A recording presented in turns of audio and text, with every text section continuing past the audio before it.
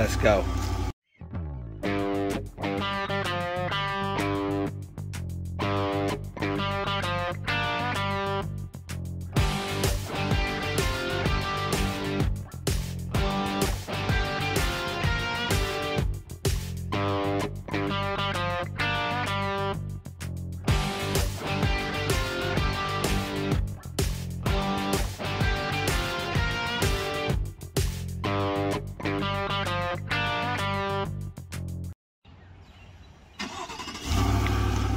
Go.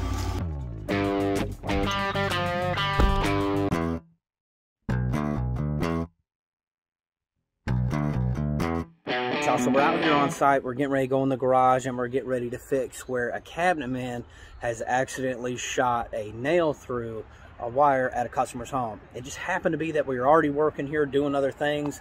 We were scheduled to come back today. And then when we get here, he's got several other things that he wants us to do. But one of them, unfortunately, is where a cabinet man shot through a switch leg. Now, it didn't trip the breaker, but it may have tripped the GFCI. Let's go find out. All right, so we've made it to the customer's home, and this is what we're dealing with. Let's go ahead and take a look at it. All right, so the beautiful cabinets, great job. But what happened was, if you look right inside there, I think it's pretty boogered up. So see if we can zoom in a little bit. I think that made it worse. There you go. So what we're gonna do is, they ended up having, the cabinets were all done. They ended up having to take them off. So what we're gonna do is you can see right here where the board will come through. Thankfully the cabinets in the back are an open face. So we're just gonna cut a junction box right here, a junction box right here, run a small jumper in between, and get this problem fixed up. All right, y'all, one thing I do want to stop and talk about really quick are these existing holes. So apparently the cabinet guy came in and core drilled this hole and core drilled this hole and was going to stick a piece of 2x4 behind it and screw through it in order to maybe support his cabinets because they didn't break on a stud. But one thing I didn't understand is that the wire that I had to repair was three inches inside the wall. So let's take this as a learning lesson that once you get through the drywall, stop drilling. He didn't have to core drill for three more inches. There's no reason his drill bit should have even really breached the drywall. And unfortunately, it could have saved this cabinet company about $180 that I had to charge the customer and that ultimately the cabinet company is going to end up having to pay. I'm going to show you something that made this one really interesting is that this is not a normal wall. This is actually not normal spray foam. This is actually inside of a wine cellar. So this has been uh, sprayed with a special, probably closed cell foam in order to, you know, keep the wine cellar cool. So this is kind of an interesting job. All right, y'all, so I just got done installing an 8-foot LED fixture in this basement. Super excited about the LED technology. It just makes it easy, efficient, and you know uh, less maintenance. I have not gone back and changed out any of these integrated fixtures since they came out, so time will tell as we go further in the game. I figured this would be a great time for us to talk about the code of the week. Every week we're going to have a code article that we memorize, and this week it is 210.8. And all you have to remember is GFCI. Anytime you want to learn about GFCI protection anywhere in a residence or commercial, um, for the most part, it's going to be blanketed under 210.8. So remember, 210.8 GFCI protection. Let's get to it. So we're in the crawl space today and we're getting ready to install this disc LED fixture. So we're down here in the crawl space, and one thing I want us to be mindful of when we're working in crawl spaces is that now lighting is actually required to be GFCI protected as well as the receptacles. It's something that you may not think about, especially if you're in my case and you're doing retroactive work where you're coming back to update or you know, install new lighting, you may not think about having to GFCI protect that circuit. It's very intuitive for us if we're in a damp place or a crawl space to think about GFCI protection for receptacles, but now it's required for lighting. Also, I do want to note if that circuit, say you're doing a new install, and that circuit also goes into an area that requires AFCI protection, you would be required to do both.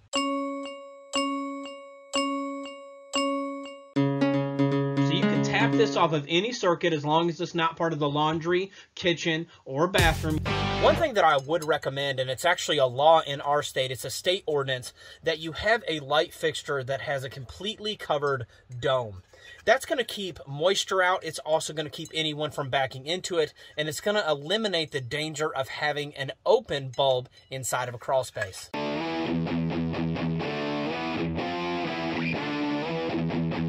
Maybe you all are like me and you have a struggle with ratchet straps, and the struggle is real. Now, I do have some in my truck. It seems like once they come out of the package, it's a struggle after that. And we've all had the struggles of putting them together and taking them apart. And ratchet straps have their place, and I'll always use them. But I want to show you a new system that I've come up with for strapping down my ladders to the big truck. So let's go ahead and jump over there and take a look at it now. So after years of fighting the multicolored ratchet straps, having to always wonder if they're tight and wonder if they're down, I finally come up with this system here. So you can pick these up at Lowe's or anywhere your local hardware. All they are is U-bolts. It comes with the entire apparatus. It's ready to go. And what I do is I just take it apart. And then all I have to do is slip it through part of the ladder. I can slip it through the bottom part, the top part, it really doesn't matter. Slip it through part of the ladder, and then I lock it in like this and I lock it tight. Now I never have to wonder if my ladders are gonna fly off, if they're strapped down. I don't have to run around, uh, you know, worry about looking like the Clampetts run around with multicolored ratchet straps. And I know they're locked and secured. Really just makes for a nice clean look on the truck and not having to have the ratchet straps coming down, you know, down into the bed. All right, y'all, so we're back in the saddle again. We're to stop by, we're to spray off the Chevy, and then we're actually heading to a customer's house where it's a dear customer of mine, thankfully, where, you know, he does a little bit of electrical himself, and you'll find customers that do, and that's fine. I think that's great. But he got into a three-way switch, switch, switching situation, and he decided that he's in there too far, and when he changed the switches out, it only works when one of them is up or down. So we know what's going on. You may know what's going on, but if you don't, I'll tune you in. So what happens is typically is that usually if one of the switches will work and the other one won't, or the either one won't work if one of them are up or down, is that either the switch leg or the power in is, you know, mixed up and it's on the wrong screw. So typically it's a pretty easy fix. We're going to go in and fix that. And then he also has a light that he wants us to hang outside. I'll try to shoot us some action shots when we get there. We're going to get out, spray off the Chevy so she's looking clean, get the mud off the ladders. Let's get to it. All right, y'all, so we're out here on this job and we're to be changing an exterior light. And this one's really cool. I'm really interested to see what's going on behind it. It's been painted a couple times, but it looks like it's got an interesting lip around it. When I get it down in my hand, I'll give us a clearer shot.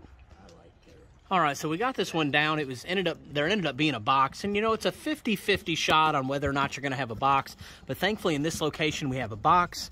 The uh, fixture's a Kulo fixture and uh, just had an interesting rim on it. I didn't know if we were going to find something really cool inside. It looked like it was in decent shape. It doesn't owe us anything. It's held on for a long time, and uh, we're going to pop a new one up. I believe the sockets just burnt out. We're going to put a new integrated LED, and we'll be in action. So let's put it in. Before we hang the new fixture, I got a funny one for you. Inside of this box, they had bonded the fiberglass box with this ground. So instead of whipping it to the fixture, they actually bonded the fiberglass box. I thought you guys would like that. After pulling it out of the box, this one ended up not being an integrated fixture, but just a screw type. No big deal. One thing I really thought was interesting is that they did not have an equipment ground connection. You actually just bond the bracket. And from the bracket, when it screws through, it is going to bond some of the other components. I believe most of it is going to be plastic, but some of it is metallic.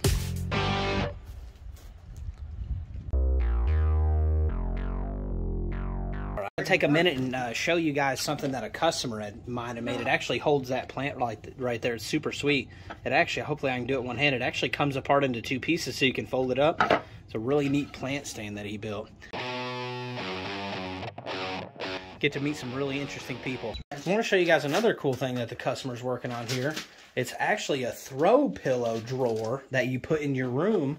So when you're done with your throw pillows, she's going to put those on like that for handles. So when you're done with your throw pillows at night, before you go to bed, you take them out, and in the morning you put them back on. Sweet. Y'all, we're going to round this week out with the tool review of the week. This week we are reviewing the Fuel Brushless M18 30 degree framing nailer. This thing is absolutely a beast. It weighs around nine pounds, so it is a little bit heavy, but boy, it has a great sturdy feel to it. It shoots up to three nails a second. It shoots two inch to three and a half inch nails, and it shoots clipped or full-headed nails. I'm super excited about testing this thing out with you guys. We're going to do some action shots here in just a second. It goes right in with the Milwaukee M18 setup like we're used to having, and it has several modes here for single shot or triple shot. Let's get to it. I have my M18 battery loaded. Let's see what this puppy can do. You turn it on, and you can easily switch back and forth in between modes. Have the single shot first. Now with the single shot, you must press and then pull the trigger.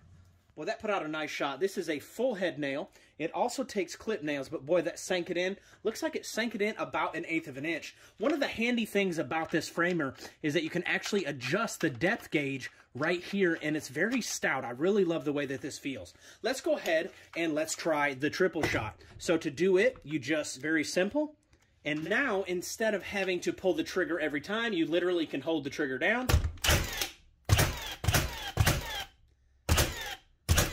and it gives a nice solid shot.